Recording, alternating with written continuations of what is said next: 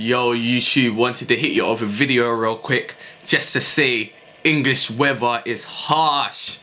It's actually freezing outside, it is so cold. I went out, yeah, just for earlier on, just for a normal stroll as you do when you're when you're bored, yeah. Sat on the bench and guess what? My ass froze. Ooh, wait, wait, let me go PG. My butt froze. My butt froze. Do you really know how awkward that is? To call to call up the fire department and say my butt froze. What, what, what do you expect me to do? Hello fire department, my butt's frozen. Can you come and help me please? Come on.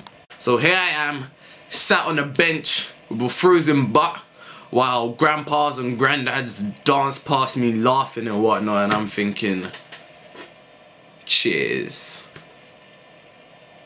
Cheers. My advice to you is never trust English weather. Go out with matches just in case your butt freezes so you can light that, light that up, you know. But try not to fart because you like burn up the parking wherever you are. And you know, um, yeah, wrap up safe, innit? So I'm out now, hopefully not getting a frozen butt. Easy peasy, rhyming Simon.